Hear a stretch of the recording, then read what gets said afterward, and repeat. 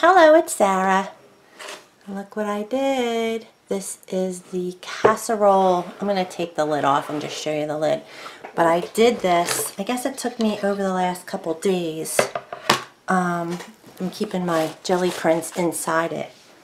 And I just wanted to share. I am going to do the tissue box. I'm going to come up with a pattern. Why don't you guys, anyone who's interested in doing me doing a walkthrough with you for this tissue box. We have four sides. So maybe pick four things that you'd like to see. And I can't guarantee you um, that I can even draw it or do it. Um, we could do like an all over fish scene or something like that. All right, let me, I have micro beads slipping all around. So yeah, this is, this is big, right? And I think I got a little carried away with the mixed media part. When I look at my cat, um, and I mean, again, I'm feeling this out. This year is the year of me trying to figure out my style. So, and I'm whispering a little because it's late. Um, but this cat, this was the piece that um, Diane Salter has on her blog. And I was noticing like there's really no extra stamping or stenciling on here. That wasn't part of the process for her. Um, and I did a lot of that. Like, I kind of considered this a mixed media piece and stamped and stenciled. And you see my little circles for my bottle caps and stuff. So I'll take you through each square. Um, and I'm not sure, I think that makes it too busy. Because this kind of reminds me of like a quilt or um, maybe even stained glass. So uh, let me let me just, all the, the hearts for your basic hearts. I used a punch and um, punched out some hearts and you know, laid them across. The hardest part was figuring out how many squares I wanted and what was going in each square. Like I kind of got an idea of what I wanted to put in them. Anywho, very basic. I just used pink Gelli print paper for my hearts. This is super cool. I'm so glad. I only had a little piece of this red left I think it's red, orange, and yellow or something. And I stamped the Dyan Reaveley, um, what is, I'm pretty sure, uh, it's here. This one. Isn't that Dyan Reaveley? Yep. I used this and I'm so glad I did. It was so cool. Um, so yeah, I, I did a lot of mixed media. This is that dimensional paint. This is copper. And they're kind of pointy. They didn't really round out for me too well. Um, so, but little stickles, you know me, I gotta add my stickles. And um, I on this piece, I pretty much used my, um, to shade everything, I used my brown big brush.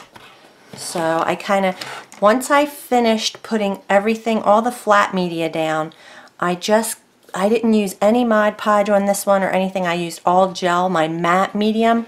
I should say not gel, this. Um, my Liquitex matte medium. And I just coated the whole thing with a coat of that and then I went, um, but I did shading with that and you can kind of smudge it with your finger. It's really fun. Um, so that's the hearts. And then I love my son. I just love his little face. Or her. Kind of looks like a her. Um, I sketched that after it was on here. I drew it with this black pencil. Not that one. Um, I have this, it's called like an extra dark something or other. Hold on, it's, a, it's actually a sketching pencil. Um, this one, extra black. This wasn't it though. General's Layout Extra Black, number 555. I don't really know much about them, but I just literally like sketched it. And I got the idea, well, obviously we've seen moon faces before. That's not new. But I have this little moon and I liked like the narrow, this is a, paper, a clay mold but I like the narrow and then the wide nose so see how I did that a little bit and then it was kind of like smoochy lips so I just did but I wanted to do like the um, cheeks, make it more like, um, you know, ancient looking or something. And I gave him wrinkly forehead and stuff. And I put the gold uh, dimensional, this is Scribbles. And they're pointy again, but that's okay. Put stickles around it too. But I just, oh, oh, and look, I put, um, can you see the glossy accents on the eyes? Doesn't that look cool? But see, I stenciled stars in the background, like kind of after it was down. So see how they're on the piece. And so it kind of, I was thinking more of a mixed media piece to kind of blend it down into the, I did the same thing on the hearts. I put hearts like on top. So, I mean, I like it, but I don't know that it's necessary because you kind of take away from the Gelli print patterns that you made, you know, if you do too much extra on there. But I love him, how he turned out. Okay, then I did this owl, and this is the owl that I learned from Kate Crane, and she's an English lady.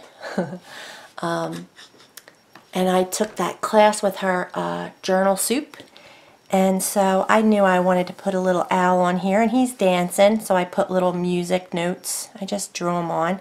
I used, to outline everything, I used a couple things. I even used, I used my Uniball Vision. I love this one. I used my food, Fude ball. Probably not as much. I think I used the Uniball Vision. And definitely my, um, where are they? My Posca, I think I left them in the other room, my Posca paint pens. And those are the, I use the fine point ones. Um, put a little bit of, um, look at this. What are they called? Micro beads. My micro beads. These are um, the Michaels brand the green. Uh, I just kind of used a little glossy accents. Sorry, I was getting clearing my desk off a little. And just kind of, because I had already made a ground with like, I shaded it, but I just put a little extra, little green down there. I don't know, I could have made it any color probably. But I tried to stay within, like, for the background, I stayed blue and green. Well, this is a little purple actually. Oh, sorry. Sorry. All right. So he's dancing, my owl. I like him. I think I put glossy accents on his beak. And then, look at this one. I was originally thinking I was going to put, um, remember my journal page that I did the house with the tree and the clouds? That's what, and this is a the, the biggest spot on here. I thought I was going to do that, but then I thought I want to do a bee-skep. And I love how it turned out. Yeah, I my copper kind of got gloopy over here, but look at this copper colored. I have the metallic micro beads and I've never used them. Oops, I've never used the copper. But this is from Michaels. They have two sets that I know of. Um, so I just thought I'd make some honey dripping out of the hive. Isn't that cute? Little, this the stamps, the bees and the snail are stamps. They are Lawn Fawn. This is the little bee mine. It's from from a couple years ago at least, 2012. And this one is, this is a newer one I think, called um, Gleeful Gardens. And I used this flower and I used the big snail. And I love Lawn Fawn stamps. They're so cute. And all I did was just stamp him on blue paper. And to make him kind of slimy, I put glossy accents on him. These flowers are all punches that I just, it's so easy. You just take the color you want and you punch and it's the basic, who's this by? EK Success flower. And this little um, EK Success flower and put them all around. The, the um, leaves for this are little hearts, the Martha Stewart heart punch. Just didn't feel like drawing them. I just punched them. It was awesome. Or cut, fussy cutting. So I just made them out of the green, same green paper that I used for the um, grass. And then I did that trim again up here and stickles of the little bees. I To get the bees to face the other way, I just drew them, or no, I um, stamped them. I stamped these, the ones facing that way, the regular way. And then I stamped them, I flipped the paper over, and then I just had to draw their little faces. Super cute. They turned out so cute, but that snail just kills me. But yeah, I like how that, I like it. I really like, so far, I like all that. Now, my cat, and you know I love my cat, but this gave me trouble. I went back and forth and back and forth. I want, I'm going to zoom out a minute. Like, I added this, and then I thought I didn't have to make it scalloped. I could have just made a strip, and, you know, like, I have to play around and realize that, like, I can do anything, you know, anyway. But I did scallop it, and I like scallop, but I kind of wish it was straight. I don't know. Um, and I put the turquoise dimensional paint, um, the scribbles up there. But no, I was going to say this green, I wanted to pull more green because I didn't really have the light green. I love this piece. Anyway, um, so I just put that there and I think it did what I wanted. I try to go in threes like pink, pink, pink, yellow, yellow, yellow, green, green, green. So like I try to, you know, it makes your eye, eh, the, I'm not, you know, whatever. Um, but anyway, so for him, the only thing was, this is such a dark background, and then I used a fairly dark color for the cat. That, I think, is a mistake. You really have to make sure your, your colors contrast, at least, that, the, you know, that they're going to be able to see, like, that is perfect. Like, you can see everything. I mean, that's still even a little dark on dark, um, but anyway, so I traced him all in white. I went, I mean, not, not traced them, um, outlined them in white. Didn't like that. Outline, see, because you can kind of see how his face, and I love his face. It turned out so cute. Look, he looks like he has a bottom lip. But I did it in white and black and blue. I did so many, and I was just like, stop. So, um, He's amazing. He's the cutest little cat, and he's looking over here at the bird. This is the butterfly stamp, or punch, I mean. The Martha Stewart punch. See, I have all these paper crafts, and I, I'm not going to make, I probably won't do as many paper crafts anymore. So that's why I'm so excited about mixed media. Like, you, I'm going to, I want to pull in those supplies that I have, you know. Um, and here's the little flower that was, it just kind of looked plain down here. And look, micro beads. Oh, you can't see. There's the flower and micro beads. I put green microbeads because he didn't really have any floor. But he's so cute. I just, I just think, I regret that it, that it isn't more of a um, contrasting color, but he's still cute. I was just going with the blue and green. And then Sorry, I have a lot of stuff in my way. My fishy. OMG, you guys. So, I was so exhausted last night. I had this, two, I think I had two things left empty. And my cat was on there, but I hadn't done much else with it. And I showed the kids, and Maddie said, this looks like water, the way it's like it was swirling and um, I had or um, stenciled the white dots on there. So he's like, it looks like water. That's an I said, there you go. Because I didn't know what I was going to put here. and I just got totally inspired by my little polymer clay votives. So here's the um, coral. And I just put um, some dimensional gold little, you know, corals. Really, it has holes in it, but anyway and my, um, oops, my micro beads. I put micro beads on there. I just love using micro beads. They are so cool. Um, I mean, there's so much more. I could put bling. You could put metal pieces.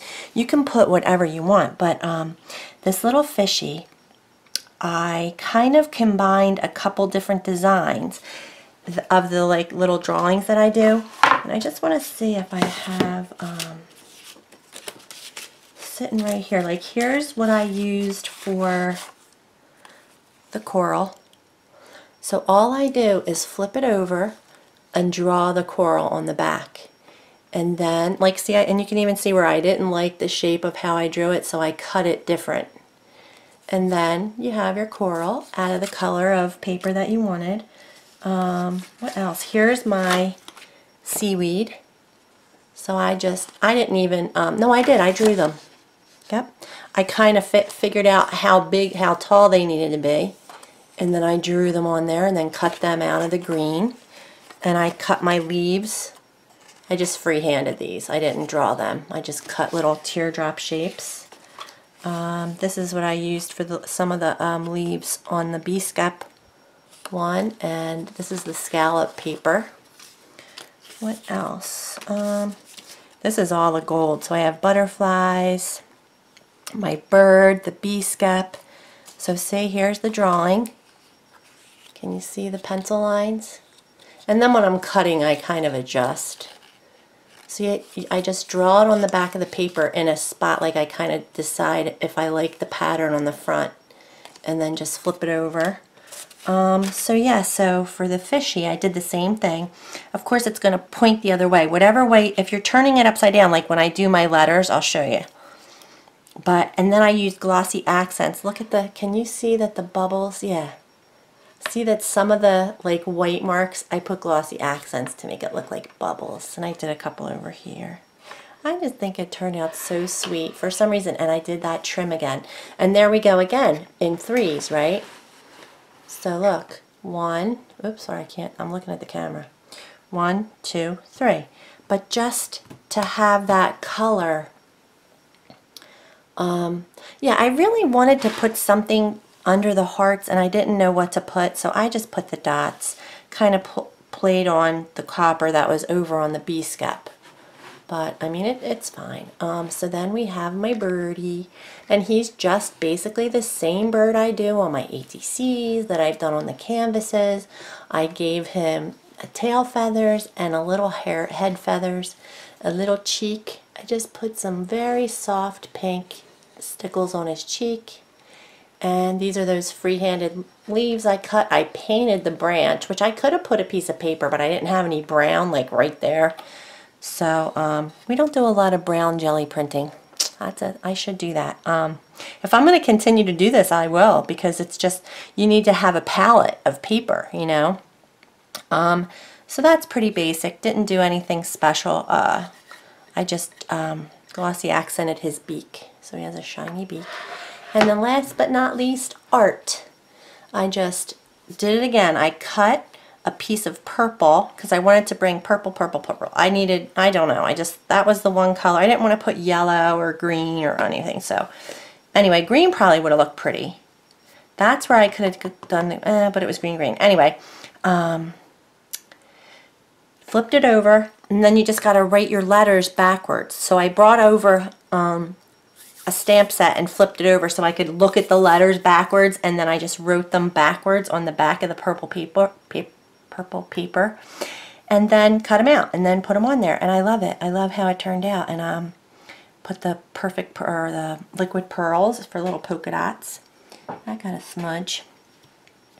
And that is basically it. Oh, and I actually, um, I outlined everything with black. My black um, uh, either I used, it depends, I did, I used mostly for the, especially the big lines, like I outlined every block with black. And that's what makes it feel like it's like a stained glass piece or something to me. All that black. This is so cute, you guys. Look at that little snail. All right, so I'm pretty happy with it. And I mean, this is mine. It's for me. I'm not selling it. I'm just gonna have it in the in the art room, in my in my craft room, and um, it was just fun and see that's what I do I go big or I go home like seriously that little house that was not like you should see my very one of my very first mosaics I did is huge it's in my bedroom and it's bigger than this desk I would say it's like about three feet by four feet it's huge my husband made it the mirror it's a frame and it's so plain like it's I'll take a picture of it and maybe post it on um, I'll post it on my um, Facebook page. But it's huge. It took me, oh man, so long. And I have a piece that I haven't finished yet. It's a chest um, that I was going to make for Maya. And all the design is on there. It's a princess with a castle and a hill. It's so cool. And I haven't finished it. And it's just sitting there unfinished. So I should, I should definitely finish those. But um, it's a lot of work. Those the real glass mosaics are, are a lot of work and I get cut but working with paper, not so bad. I mean, you can get paper cuts, but um, yeah, so I like it. So I have to figure out what I'm going to do on the back. Do I want to add paper? It's just gessoed right now. Um, and then I just painted the edges black. And um, basically, it's sealed with matte medium. And I don't think I'm going to do anything more to it because, which is maybe not, not smart because it, it might need to be sealed with something, but I have all this dimensional um, texture and stuff on it now. And I think if I put other mediums on top of the glitter and the, you know, the different stuff, it won't have the same effect. So let me know what you think. If you guys, those of you who would like to try this technique, I can come up with a couple of different patterns for this. I really love the moon. I would love to do this with you guys. Um, I guess we could do a cat because I've had a couple requests for um, the cat that I did in my art journal. It's the same exact guy. He is so cute. Oh my god. He really turned out cute. I love his pink nose. Like, I'm sorry, it's cute. I mean, cutesy, right? Someone's going to put, oh, it's so coloring book. I don't care. I like it. It's whimsical. Um, to each his own. Change the channel. Don't watch. Uh, sorry. By the way, you guys I love you guys. You guys leave me such great comments. Like I happened to mention the sniffing comment at the end of my last video and I got so many, you guys are so wonderful to me. And it's so weird. Why do we focus on that one, literally one negative comment, you know? And I get 20 good comments and I'm like all upset about the sniffing comment. So it's, it's kind of ridiculous that we do that to ourselves. But, um, Anywho, um, I do appreciate it. So you guys, um, but anyway, so let me know, like I said, um, I don't know that I want to do the owl because, hello, um, I learned that in a class and I don't know if that's copyright stuff. I'm like, I could actually, I could, um, I'll email her. I could email her because he's so cute. Um, I could definitely do the scap because that's mine the fish we could do and the bird we could do we could do whatever or come up with something that you think would be cute to put on here. I mean it could just be abstract. We could do graffiti. Someone mentioned that this my house which is oh it's over there but it looked like graffiti like we could just do words and I mean I'll have to figure something out but um I definitely want to do I'm going to do a couple more of these pieces because they're super fun. This was a lot of work though. It was. But it's mine so it's good. I'm good to go. Oh, I signed it. Yay, I did sign it. Sarah 2016. All right, you guys. Thanks for watching.